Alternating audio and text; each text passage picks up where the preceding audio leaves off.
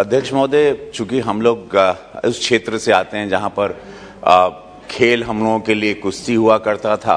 या खेल हम लोगों के लिए गिल्ली डंडा हुआ करता था। तो ऐसे माहौल से निकल कर जब आज हम लोग अ, 2022 में हैं जहाँ यशस्वी प्रधानमंत्री मोदी जी ने खेलो इंडिया के तहत हमारे मंत्री, हमारे खेल मंत्रालय ने इसको एक नई उड़ान दी, एक नई ऊँचा, ऊंचाई दी है। वेर आई कैन सी कि हमने लास्ट ईयर हम लोग बहुत सारे ओलंपिक्स में मेडल्स में आगे आए हैं। तो आज मुझे खुशी है कि आज हमारा देश यशस्वी प्रधानमंत्री मोदी जी की सोच के साथ एक अच्छा सरकारी खेलो इंडिया के तहत एक बजट मिल रहा है हमारे बच्चों के लिए। उसमें कुश्ती है, कबड्डी है बैडमिंटन है खो खो है, तीरंदाजी है। नेशनल टैलेंट का एक पूल जो मैं अब्रॉड के थॉट्स में, जैसे अमेरिका में, चाइना में आई टू ऑलवेज थिंक कि why China and America they get maximum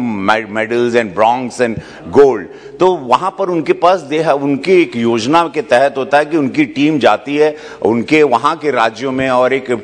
team of pool बैठी रहती है जो अध्ययन करती है कि ये वारे ये ये स्पोर्ट्समैन या ये लड़का या ये बिटिया ये लड़की बहुत टैलेंटेड हैं और उनका सिलेक्शन होता है एंड उसके ऊपर स्टडी करके उनको शॉर्ट लिस्ट करके उनका नाम सेंटर में भेजा जाए तो मैं आपके माध्यम से अप, अपनी सरकार से यशस्वी प्रधानमंत्री मोदी जी की सरकार जो आज एक देश में हमारे बच्चों के लिए एक नया एक विश्वास पैदा की है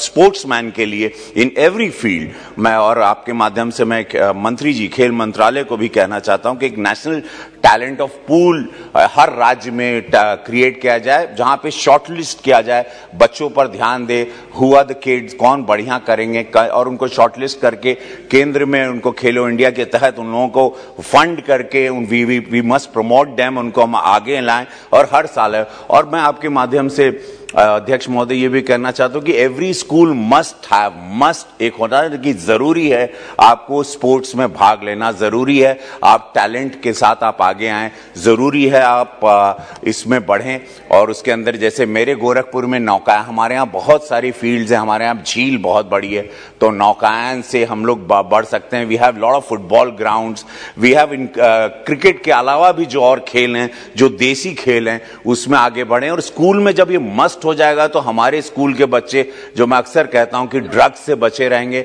अल्कोहल, शराब, सिगरेट, नशे से दूर रहेंगे, जब खेल के प्रति, अपने शरीर के प्रति अपने अपने पर ध्यान रहेगा, देश के लिए भी आप आगे बढ़ोगे, शरीर के साथ भी आगे, और 65 परसेंट ऑफ़ युवा जो इस देश में है, जो विश्व का सबसे बड़ी आबादी वी हैव यूथ हियर वो बचेगा, और हमको आने वाली पीढ़ी को बचाना है वो चिंतन करना बहुत ज़रूरी है। तो मैं आपके माध्यम से ये मैं कहना चाहता हूँ, और मैं धन्यवाद दूँगा यशस्वी प्रधानमंत्री मोदी जी को कि सांसद स्पर्धा के दौरान हम लोगों ने कॉम्पिटिशन्स करवाए अपने ज़िले में, वो भी बहुत ही फ्रूटफुल रहा, उससे अवेयरनेस बहुत आई और मैं इसी के साथ मैं अपनी वाणी को विराम देता हूँ but I must